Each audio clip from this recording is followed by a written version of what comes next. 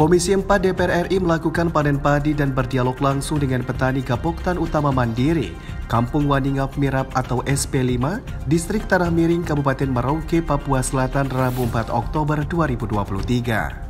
Kunjungan anggota Komisi 4 DPR RI kali ini memastikan kemajuan pengembangan pangan dan pertanian di Kabupaten Merauke. Seperti diketahui, Kabupaten Merauke merupakan salah satu dari lima daerah di Indonesia yang ditetapkan sebagai kawasan strategis nasional pengembangan pangan. Budi Setiawan, Wakil Ketua Komisi 4 DPR RI, dalam sambutannya menyampaikan penghargaan kepada para petani Gapoktan Utama Mandiri yang terus bekerja di sawah meskipun ada beberapa kesulitan yang dihadapi.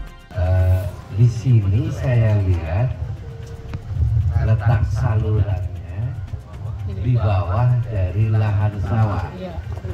Apakah kompanisasi yang bapak-bapak perlukan ini untuk menyedot air dari sini ke sawah atau dari kali kepada saluran?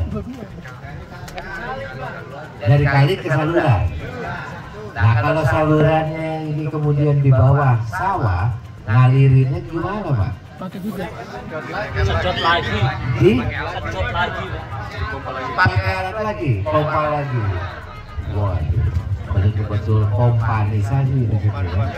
Pompa dua kali. Kalau musim hujan gimana pak? Banyak air.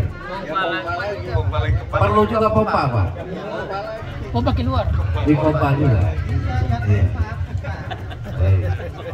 Jadi musim kering perlu pompa, musim hujan pun pompa juga Pak. Pada kesempatan yang sama, Direktur Jenderal Tanaman Pangan Suwandi menjelaskan, luas baku sawah Kabupaten Merauke 32 ribu hektar setahun dua kali tanam, luas tanam 64 ribu hektar dan produksi beras 115 ribu ton. Uh, luas baku sawah di Merauke itu 30 ribu hektar luas bakunya. Jadi hampir sama dengan kabupaten-kabupaten di Jawa. Kemudian setahun rata-rata dua kali tanam. Artinya luas tanam atau panen sekitar 60 ribu aja. Luas tanam Merauke. 64 ribu, jadi betul setahun dua kali. Nah, produksi beras lebih dari 100 ribu ton. Ada berapa beras? 50 Merauke setahun berapa ribu ton? 183 ribu ton beras. Kebutuhan konsumsi ini setiap tahun tidak sampai 15 ribu. Artinya di sini lumbung beras untuk di akhir, salah satu petani menyampaikan beberapa kesulitan yang dihadapi saat musim kemarau adalah kesulitan air. Maka dari itu, petani berharap ada perbaikan saluran air di sekitar sungai agar dapat mengalirkan airnya ke lahan sawah di distrik Tanah Miring, juga disarankan pompa air, benih dan tambahan pupuk NPK.